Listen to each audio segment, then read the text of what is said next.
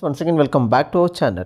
This video is particularly for Karnataka. So we had already published many videos on how to make encumbrance certificate as well as getting your sale deed copy, certified sale deed copy online for agricultural as well as non-agricultural lands. We have already pushed so those videos. But uh, friends now this website has been upgraded. Previously it was Kaveri Online. Now it is Kaveri Online 2.0 uh, upgraded version.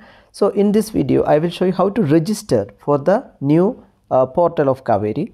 And you can also watch our videos on how to get uh, certified copy as well as encumbrance certificate through the new website that you can watch. But this is the first video where you are going to get it registered. Without registering you cannot apply for encumbrance certificate or CC now friends this was the old website okay? I think everyone would have used this. Now this you cannot use it anymore because those functionalities of applying eccc nothing is available. So what is the new website? Let us go back. This is the new website. I am giving this link in my video description. Friends you can just copy. Uh, before uh, jumping into that please watch this video because there are some things you have to take care while registering so that you are not making any mistake later. I'll quickly take you through this uh, window. What you have to do first copy the url in your browser. You can you do this from mobile also or from your computer also. I'm doing from mobile. So you can see here options are ec search cc search agriculture non agricultural as well as marriage registration related things also you can do from here. So let us quickly see how to get registered to this website first because that's a most important part you should have a username and password. You click on the three line button here as you can see on uh, this uh, screen. I'm doing from my mobile. You can do it from mobile okay friends? Now you have an register option here. And before that you got an option of language also. There are two supports english or kannada. As per your convenience please go select your language. By default it will be english. If you click on the button it will change to uh, kannada okay friends? See this is kannada now. And if you click on it will go back to english so it's up to you. So let us click on the register button first. And so that you can get registered to this portal. And let us see what are the things to be uh, given for the registration. Now if you click on uh, that register option you get first name middle name last name gender email all these things you are uh, supposed to give.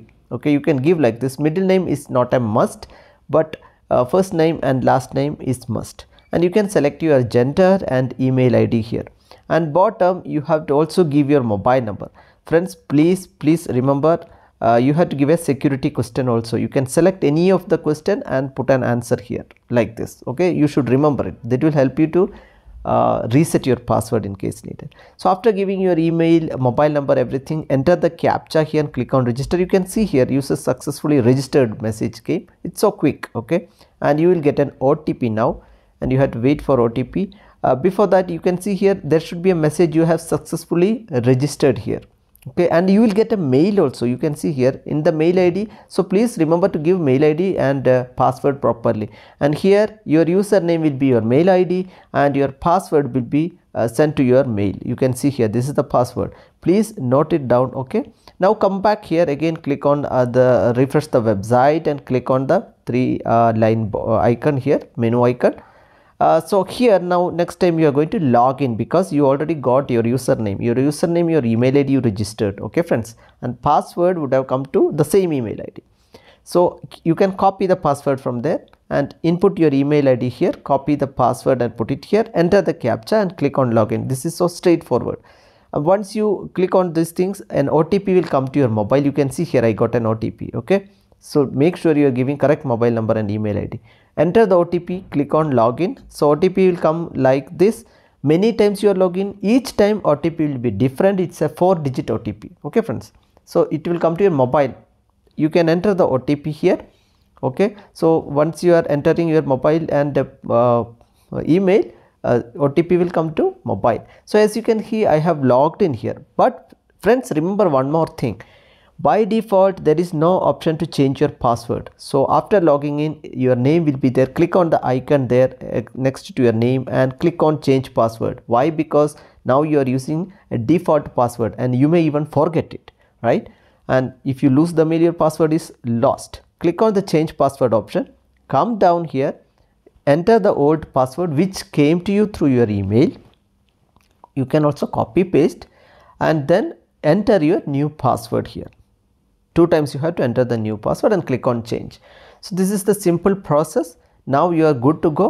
You change your password you get a uh, message pop up like this green password uh, pop up okay? You also get a message. Your password has been changed. So this is the process friends. Now you are good to go. Next time onwards you can log into the portal. Thank you so much for watching the video. And now i'm uh, you can watch your uh, encumbrance uh, certificate applying video as well as how to apply for your sale deed certified copy. Please watch the above link. Also after this video you get the links for getting encumbrance certificate as well as sale deed copy. Thank you so much for watching your video. Please subscribe to our channel. Get in touch. Thank you so much